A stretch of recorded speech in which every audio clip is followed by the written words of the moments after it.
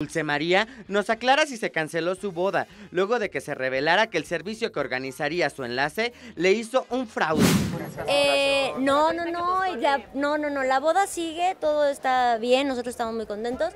El único problema fue que se va a cambiar el lugar eh, y la fecha, evidentemente, pero lo demás todo bien y y pues nada, que tenga cuidado la gente de que, o sea, que te fijes bien, ¿no? En, las cosas, porque pues sí, em, tiene que estar todo en orden, que te des cuenta que en los contratos está todo bien y que, y que no den el 100% hasta que te den el servicio que, pediste.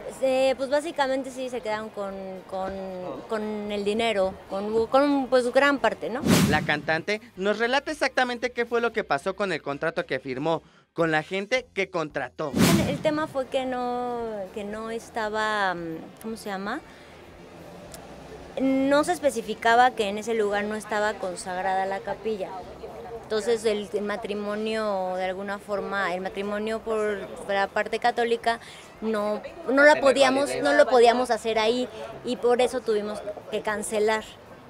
Entonces, eh, al ser un, todos los contratos tienen penalización, sí, sí, eso está bien, ¿no? Pues es normal.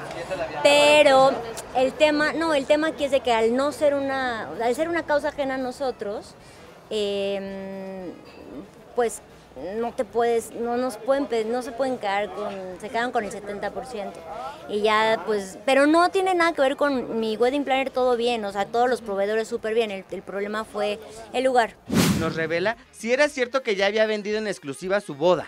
primero voy a, a ver que cuándo y ya después este veo. Sí, pero la verdad es que queremos algo como cualquier novio, como cualquier pareja, algo lindo, algo algo íntimo con la gente que realmente quiera estar, con la gente que nos ame y la mejor, digamos, energía posible. ¿no?